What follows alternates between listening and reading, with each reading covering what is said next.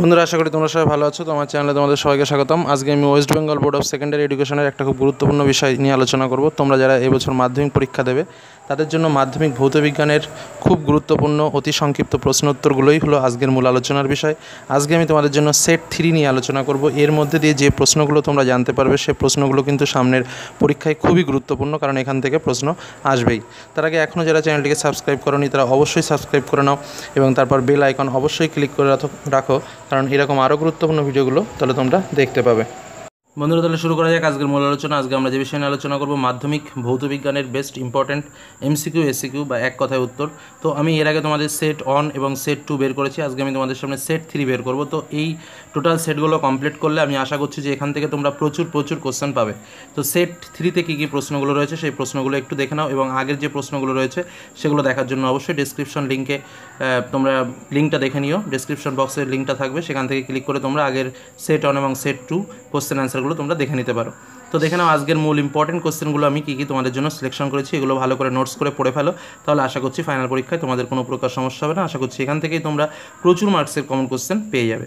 দেখো শতবিজারণ পদ্ধতিতে নিষ্কাশন করা হয় সিইউ ইথাইল অ্যালকোহল ও অ্যাসিটিক অ্যাসিডের বিক্রিয়ায় উৎপন্ন হয় এস্টার ভ্যান অ্যালেন বিকিরণ বলায় দেখা যায় ম্যাগনেটো স্পিয়ারে লা ব্লাঙ্ক পদ্ধতি ব্যবহৃত হয় এইচসিএল প্রস্তুতিতে বা হাইড্রোক্লোরিক অ্যাসিড প্রস্তুতিতে।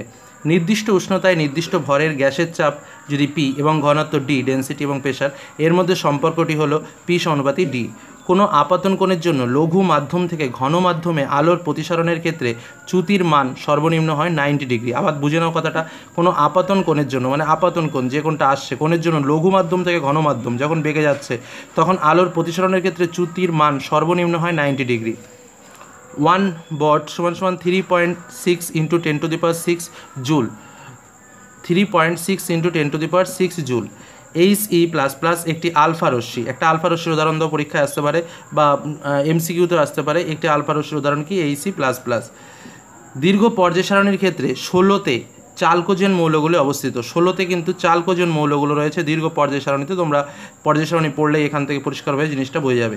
স্মেলিং সল্ট প্রস্তুত করতে ব্যবহৃত হয় অ্যামোনিয়া।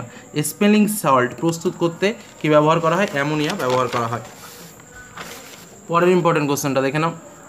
একটি জৈব অভঙ্গুর পলিমার হলো প্রোটিন, একটি জৈব ভঙ্গুর পলিমার হলো শর্করা, সেলুলোজ বা স্টাস। বায়োগ্যাসের মূল উপাদান হলো সিএইচ ফোর সিও টু এর বাষ্প ঘনত্ব হলো twenty two. Amalgam H G ধাতুর সংকর দ্বিতীয় পর্যায়ে চালকোজন মৌলটি হলো এস একশো ওয়াটের বাতি প্রতি মিনিটে শক্তি খরচ করে কত? ছ হাজার জুল। মনে রাখবে, একশো ওয়াটের বাতি প্রতি মিনিটে শক্তি খরচ করে ছ হাজার জুল। ইথিলিন অণুতে মোট সমযোজী বন্ধনের সংখ্যা হলো দুটি। চালচের সূত্রে স্থির থাকে গ্যাসের চাপ ও ভর। এই প্রশ্নটা খুব ইম্পর্টেন্ট যে চালচের সূত্রে কি স্থির থাকে? গ্যাসের চাপ ও ভর। তোমরা সংজ্ঞাতে পড়েছো যে গ্যাসের চাপ ও স্থির করে। স্টার্টিংয়ে এটা দেওয়া আছে। যাই হোক পরটা দেখো।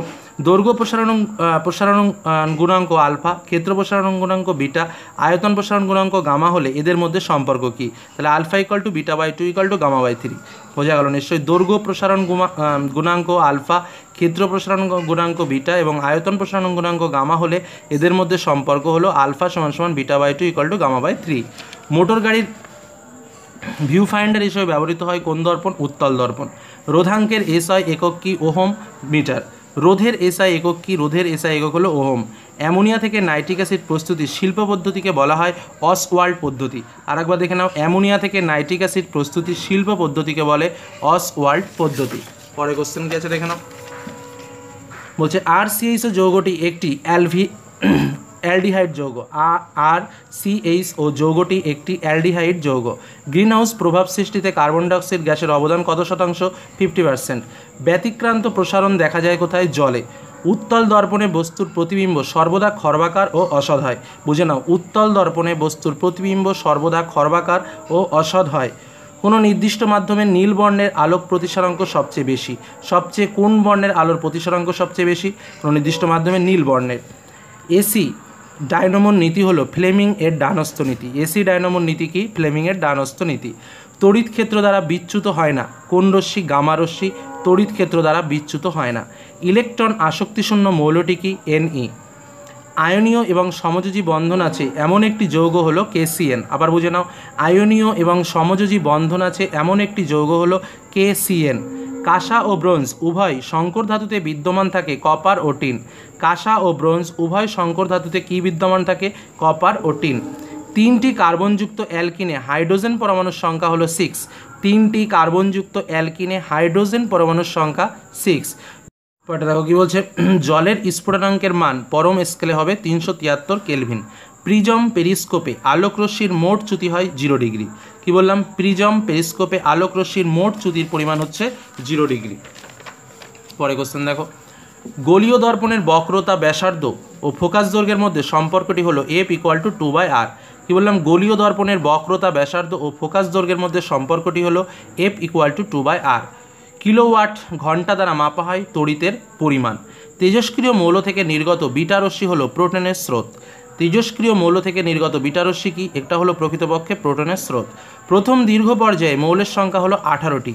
গিপসাইট হলো অ্যালুমিনিয়ামের এক ধরনের আকরিক। অ্যামোনিয়া গ্যাস শুষ্ক করতে ব্যবহৃত হয় সিএও একটি অজৈব গ্রিনহাউস গ্যাস হলো কার্বন ডাইঅক্সাইড। দীর্ঘ পর্যায় সারণীর শ্রেণি সতেরোতে কঠিন তরল ও গ্যাসীয় মৌল রয়েছে। দীর্ঘ পর্যায় সারণীর শ্রেণি সতেরোতে কঠিন তরল ও গ্যাসীয় মৌল রয়েছে। তড়িৎ বিশ্লেষণ এক প্রকার জারণ বিজারণ প্রক্রিয়া। ফোবিও সেন্ট্রালিস সর্বাধিক স্পষ্ট দর্শনের অনুভূতি জায়গায়। সর্বাধিক স্পষ্ট দর্শনের অনুভূতি জায়গায় কি? ফোবিয়া সেন্ট্রালিস একটি নিক্টোজেন মৌল হলো পি, মনে রাখবে। একটি নিক্টোজেন মৌল হলো পি। একই সমগোত্রীয় শ্রেণির পরপর দুটি সমগণের মধ্যে আণবিক ভরের পার্থক্য চোদ্দ। কি বললাম? এক একই সমগণীয় শ্রেণির পরপর দুটি সমগণের মধ্যে আণবিক ভরের পার্থক্য চোদ্দ। তোমরা এই প্রশ্নগুলো বারবার বলছি যে নোটস করে পড়ো, কারণ এখান থেকে কিন্তু পরীক্ষায় প্রশ্ন আসবেই। তারপর দেখো লাস্ট তিনটে কোশ্চেন আছে। দেখো পরের কোশ্চেনগুলো কী রয়েছে? আদর্শ গ্যাসগুলির অণুগুলির গতিহীন হয় শূন্য কেলভিন উষ্ণতায়। আদর্শ গ্যাসগুলির অণুগুলি কখন গতিহীন হয়ে পড়ে? শূন্য কেলভিন উষ্ণতা যদি থাকে, তাহলে গ্যাসগুলির অণুগুলো গতিহীন হয়ে পড়ে। তরলের ক্ষেত্রে তাপীয় প্রসারণ প্রসারণ গুণাঙ্কের ব্যবহার আছে দুই। কত? দুই। গ্যাসের অণুগুলো গড় গতিশক্তি পরম উষ্ণতায় সমানুপাতিক। গ্যাসের অণুগুলো গড় গতিশক্তির পরম উষ্ণতায় কী হয়? না, সমানুপাতিক হারে থাকে বা সমানুপাতিক হয়। তো এই হলো তোমাদের মোস্ট ইম্পর্ট্যান্ট সেট থ্রি আমি তোমাদের সামনে তুলে ধরলাম। তো আশা করি সমস্ত আলোচনাগুলো ভালো লেগেছে। তাহলে অবশ্যই লাইক করো, বন্ধুদের সঙ্গে শেয়ার করো এবং তার থেকে বড় কথা নিজেরা এগুলো নোটস করে পড়ে নিজেরা প্রস্তুত হও। তো আজকের মধ্যে এখানে শেষ করলাম। ধন্যবাদ।